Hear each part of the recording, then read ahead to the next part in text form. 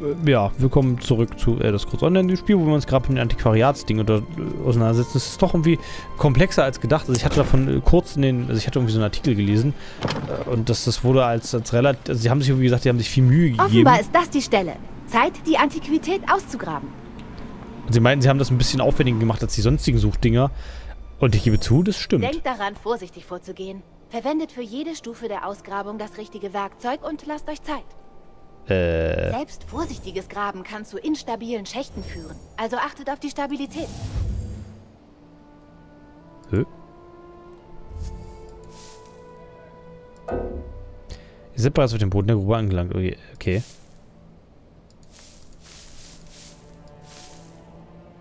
Achso. Oh, ich habe noch 9 Stunden und 36 Minuten Zeit.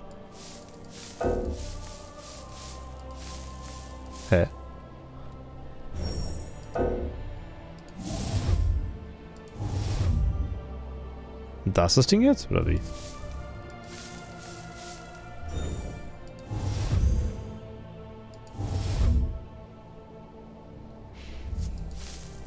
Ich glaube, ich bin irgendwie zu doof dafür, ne? Es könnte sein, dass ich nicht richtig aufgepasst habe, aber... Sagt man das dann halt, wo es sein wird?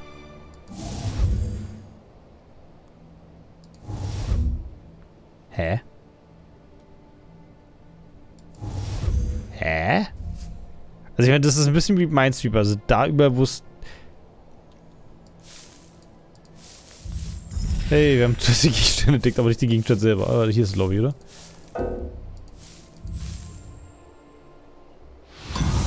Ausgang fehlgeschlagen. Hä? Aber, Denkt daran, vorsichtig vorzugehen. Verwendet für jede Stufe der Ausgrabung das richtige Werkzeug und lasst euch Zeit.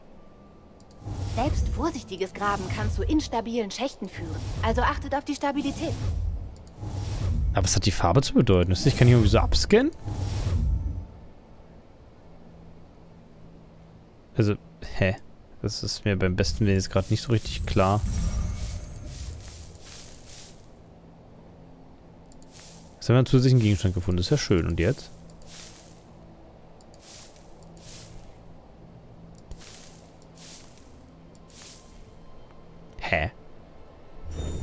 So, das Ding hat...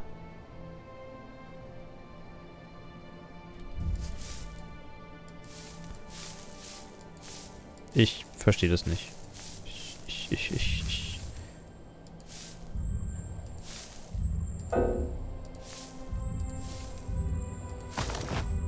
Okay, jetzt haben wir den Gegenstand gefunden, aber wie es genau funktioniert? Äh, ja. Also ganz hinterher kommt tue ich noch nicht. Aber gut, dass es ein intensives Tutorial hat. Ich werde das bestimmt immer noch mal neu probieren können. Ah, habt ihr es? Nun seid ihr eine richtige Antiquarin.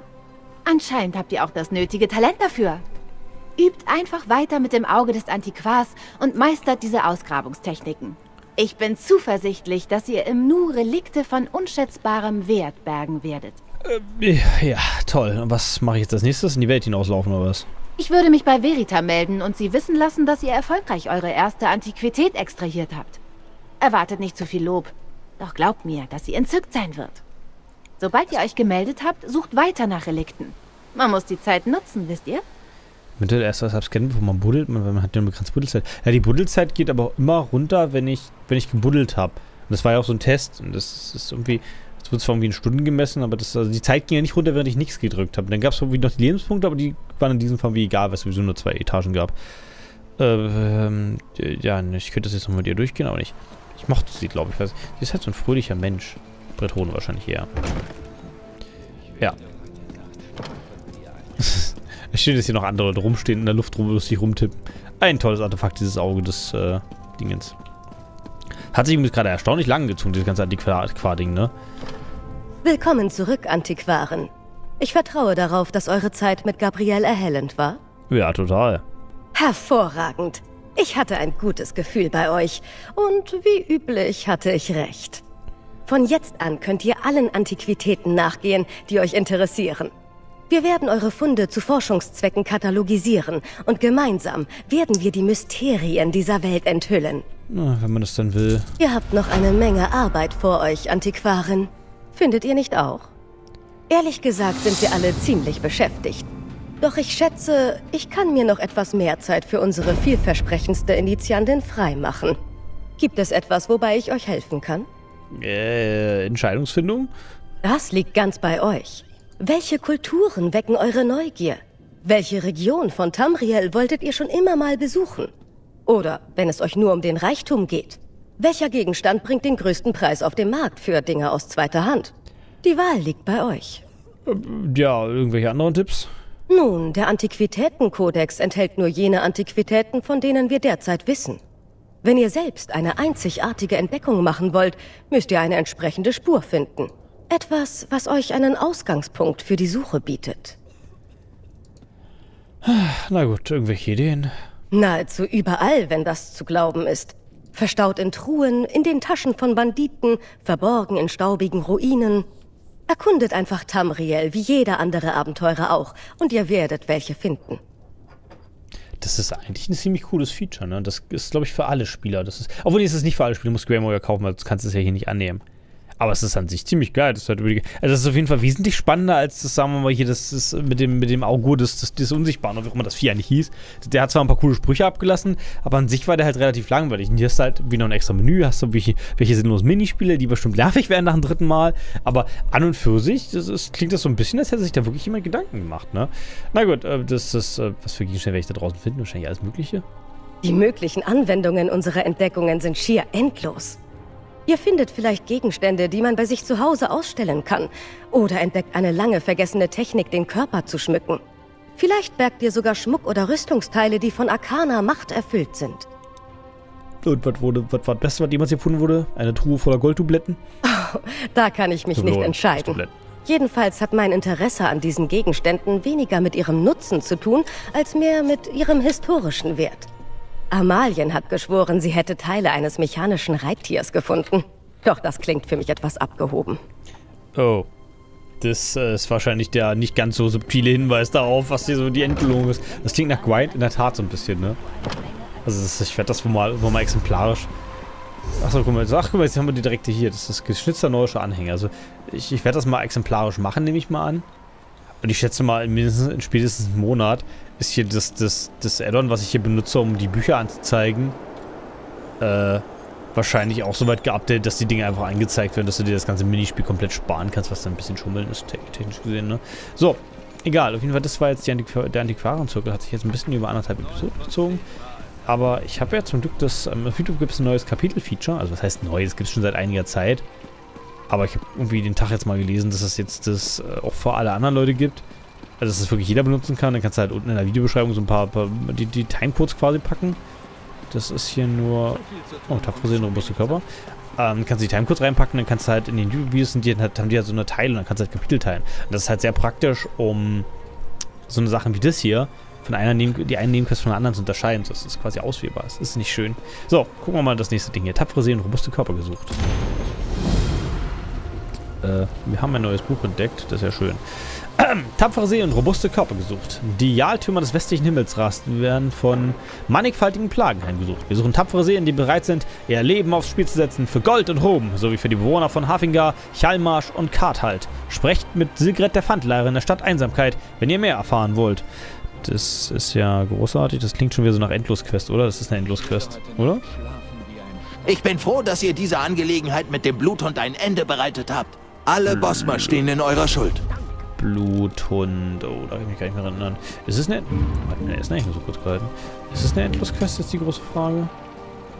Wer ist denn hier der... Äh... Äh... Also der Questfall ist halt genau hier, ne? Mystikerin? Ne, Mystiker, aber egal. Schneider, Winfried. Lederin? Die Pfandlager. Komme ich hier rein? Nö. Also mein Quest-NPC, mit dem ich hier laut Beschreibung quatschen soll, ist nicht da. Tja, die Himmelsrandwache sah übrigens gerade extrem gefährlich aus. Überreichsangebot. Ist hier vielleicht die Pfandleiherin? Ne, Händler. Gepäckhändler? Oh, Gepäckhändler. Was kostet das noch? Ich bin mal in einem.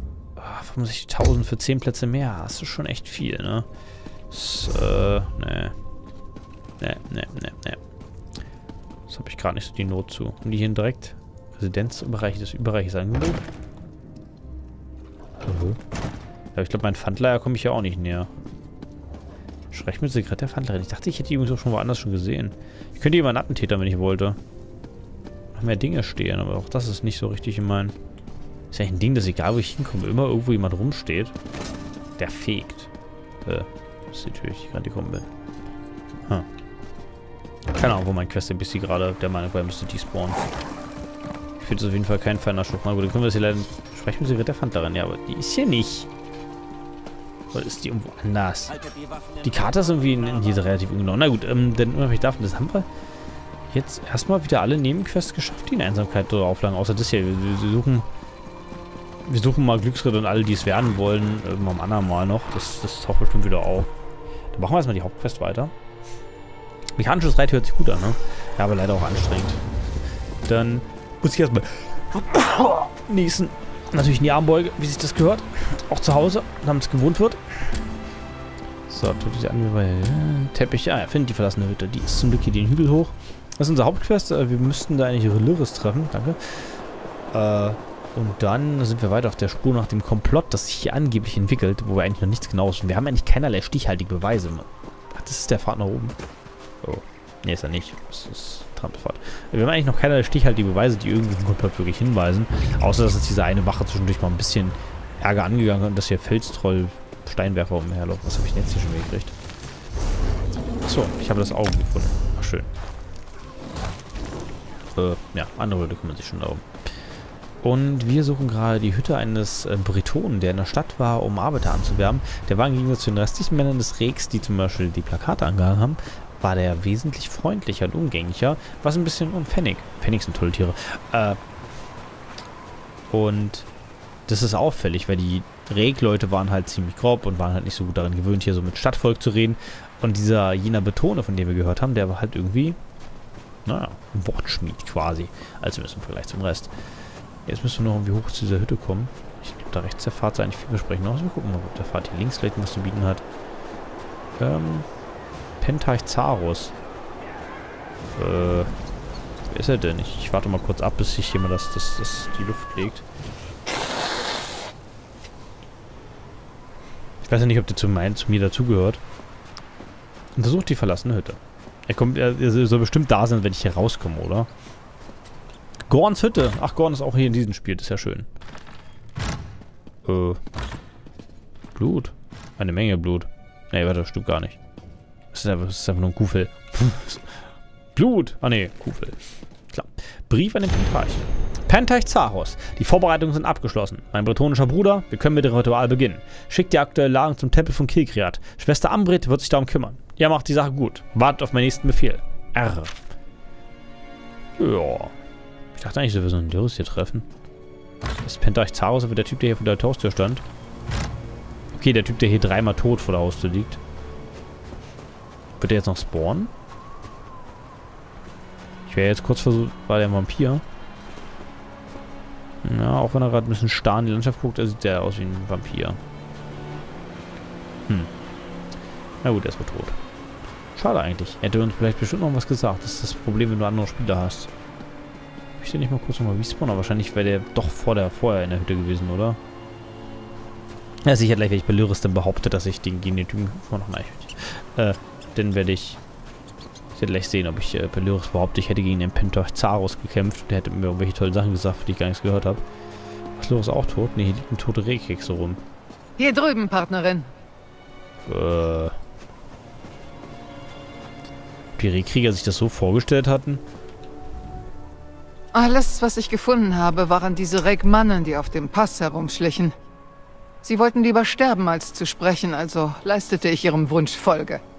Sie sehen nicht so aus, als kämen sie aus Eiskap, aber sie tragen die Medaillons des Zirkels. Und, habt ihr die Hütte gefunden? Ja, das ist, ich habe äh, ich hab hier diesen wunderschönen Brief gefunden, der nichts sagt, weil die Leute anscheinend nur mit den Initialen unterschreiben. Kilkreat? Der Tempel von Meridia? Wieso sollte der Eiskap-Zirkel einen örtlichen dädrischen Kult angreifen? Naja, weil das, das, das irgendwie immer die D3 im Spiel sind und Meridia meistens dann im Spiel ist, wenn die anderen D3 eingreifen, um als Gegenkraft zu dienen. Genau mit, zusammen mit Asura. Kennt man doch so oder nicht? Ja, das, sie wollen übrigens ein Ritual anfangen mit der aktuellen Ladung, was wahrscheinlich die Handwerker sind, von denen wir gehört haben. Verdammt, uns läuft die Zeit davon. Ich werde zurück nach Einsamkeit reisen und versuchen, Großkönig Swagrim zu warnen. Ihr reist zum Tempel von Kilkreat und alarmiert die Priester von Meridia. Ich treffe euch dort, sobald ich kann. Hm, ich ahne, dass es darauf hinausläuft, dass ich die Leichen der Priester von Meridia alarmieren werde.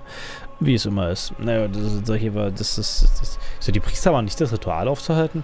Wahrscheinlich finde ich lauter Zombie-Priester vor. Ihr würdet euch dem Zirkel allein stellen müssen. Warnt die Priester.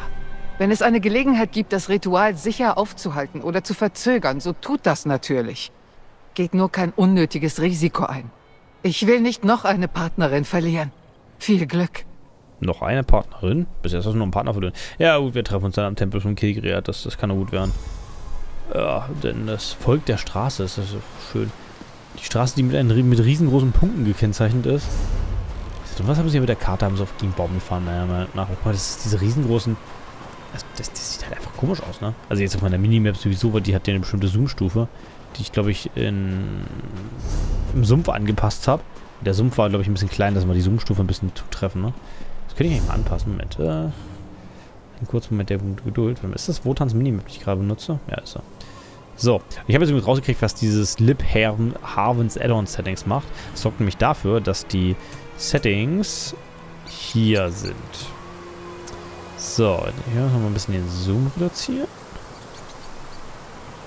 Na, sieht jetzt irgendwie besser aus, aber naja, was soll's zur Entwicklung soll ich vielleicht auch noch entdecken. Vielleicht müssen wir hier nochmal hin. Man weiß ja nie. Oh, ist das das mechanische Reittier, was erwähnt wurde? Sah ein bisschen so aus. Bin mir sicher, dass da schon viele Leute haben, wenn es halbwegs fancy aussieht. Gibt es ja bestimmt doch Guides für, ne? Muss ja eigentlich nur mal einer suchen. Halt! Ein Unglück hat den Tempel von Kilkreat ereilt. Das überrascht mich überhaupt nicht. Das, das... Warte mal. Moment, Moment, Moment mal. Der Trailer am Anfang von diesem Add-on saß der Typ mit einem Blatt, mit, mit einem Buch auf dem Rücksitz. Genau der, bin mir fast sicher. Seid nicht beunruhigt. Ich will euch nichts Böses. Doch hier laufen Gram und Holde um den Tempel von Kilkreat herum, bei denen das anders ist. Bringt euch in Sicherheit, bevor sie euch finden. Äh, ja, aber ich soll die Priester warnen. Es tut mir leid, aber ihr kommt zu spät. Ein unnatürlicher Sturm ist über den Tempel hereingebrochen. Und nun ist das ganze Gebiet überlaufen von Vampiren und Gramunholden. Jo, das ist ja schade. Wer bist du? Gramunholde sind wilde Vampire, ein Nebenerzeugnis eines widernatürlichen Gramsturms. Was mich anbelangt, ich bin Fenorian vom Haus Rabenwacht. Ich bin einer Spur von sterblichen Überresten aus einem Massengrab in Bankorei hierher gefolgt. Sie wurden in uralten Urnen nach Einsamkeit verschifft. Wo gerade so aufhört, seine Augen sehen wirklich ein bisschen komisch aus, ne? Haus Rabenwacht? Äh. Ist ja noch ganz menschlich. Ja, die Uhren, ja, von denen habe ich gehört, ne? Das ist, äh, die wurden geschmuggelt, ne? Eiskap-Zirkel? Fragezeichen? Da greift er mich gleich an. Ja, ich bin dem Zirkel auch begegnet. Die Urnen und die gestohlenen sterblichen Überreste spielen eine Rolle bei dem Ritual, um die Stürme zu rufen. Wenn ihr dazu bereit seid, so könnte ich eure Hilfe brauchen. Ich muss meine Untersuchung der Städte abschließen und so vielleicht noch mehr erfahren. Äh, ja, und was soll ich da machen? Also schön, dass wir übrigens wenn den Personen vertrauen, die wir gerade auf der Straße kennengelernt haben. Ich könnte eure Hilfe brauchen, um die seltsamen Dorne zu untersuchen, die um den Tempel aufgestellt wurden. Gramunholde und Vampire streifen hier herum, sodass es schwierig ist, sich den Dornen zu nähern. Deshalb brauche ich eure Hilfe. Wisst ihr, ich habe wenig Vertrauen in meine Kampfkünste. Das sieht jetzt nicht so aus, als würde hätte er wenig Kampfkünste. Ich meine, seine Aufmachung und alles. Na gut, äh, was genau passiert? Das, oh, das darf ich mal fragen, immerhin. Der Eiskap-Zirkel hat ein Ritual durchgeführt, mittels dessen ein Gramsturm über dem Tempel entfesselt wurde. Er brach ohne Warnung los und löste sich so schnell auf, wie er begann. In seinem Nachgang ließ er jedoch Gram und Holde zurück. Unschuldige Priester und Pilger, die in Ungeheuer verwandelt wurden. Man möchte eigentlich meinen, dass der Glaube an Meridia einen irgendwie gewissermaßen schützt vor solchen Sachen, ne? Ich meine, ansonsten sind die, sind die, die entsprechenden Dedra und, na gut, die Götter ja nicht. Aber die, zumindest die Dedra sind eigentlich so ein bisschen halbwegs hinter ihren Priestern daher. Jetzt nicht so unglaublich rührend und mit jeder Schritt nachverfolgt, aber so im Groben und Ganzen gelegentlich schon so ein bisschen, ne? Na gut, wir werden das Gespräch immer vertiefen. Beim nächsten Mal. Ach schon, der Cut im Dialog. Schön, schön.